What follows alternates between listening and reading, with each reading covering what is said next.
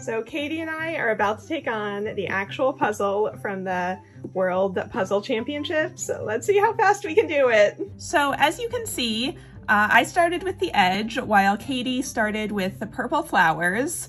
And I thought we were making a pretty good time. You can see I'm working on some of the flowers there too, and then the purple up at the top. And I'm working upside down while Katie is working right side up. We ended with the dog. This fur was definitely the hardest part. Our final time, 46.28. Let's see how we ranked. All right, I just checked the time. We would have had 17th place. That's pretty good. Yeah, I think that's all right.